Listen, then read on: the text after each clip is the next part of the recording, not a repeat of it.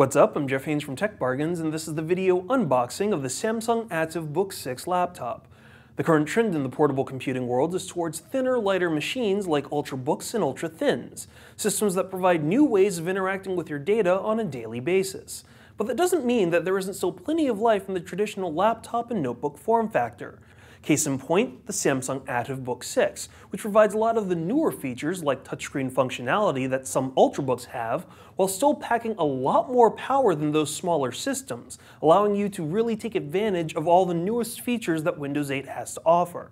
Now we just got this one into the office and we thought we'd open it up and show you exactly what you can expect whenever you order one from Samsung.com or you pick one up at one of Samsung's retail partners.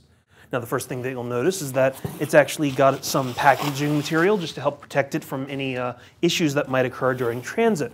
But once you uh, remove that, you pull it out of the box right here, You'll also find that it's also heavily protected with its own styrofoam uh, coffin, as you can see right there. In fact, I'm just going to remove some of the other items from the system. So right here on top, you've got the user guide, some of the warranty info. You even have a screen cleaning cloth because, again, this is a touch capacitive display and system. Over here on this side, you have your power brick for the computer, and you also have the power cord for the system as well.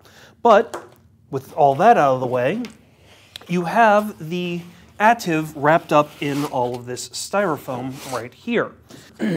it's uh, well protected, but the system itself, the Book 6, actually looks a lot like the Series 7 that uh, we actually reviewed just uh, last year with the Duralumin style uh, chassis and shell on the top. Now we'll get into some of the internal specs of the Ativ Book 6 right after you take a really quick spin around the external shell of the machine.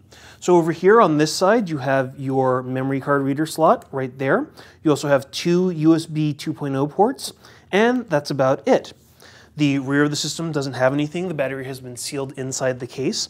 Over here on this side, you have your Ethernet port, your VGA port, HDMI, two USB 3.0 ports, and your headphone microphone combo port.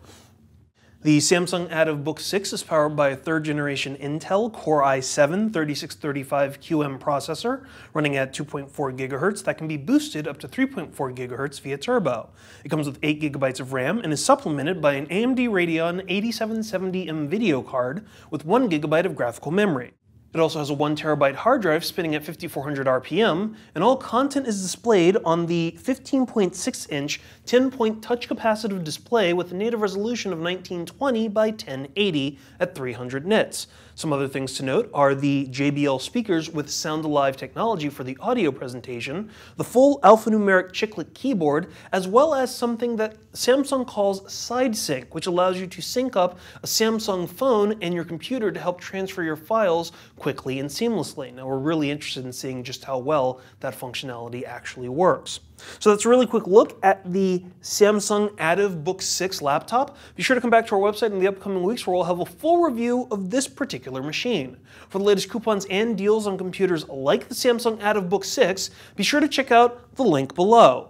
To enter our monthly giveaway, make sure you always check out techbargains.com slash YouTube, and to watch our video unboxings, video reviews, and exclusive video features, be sure to go to techbargains.com slash videos.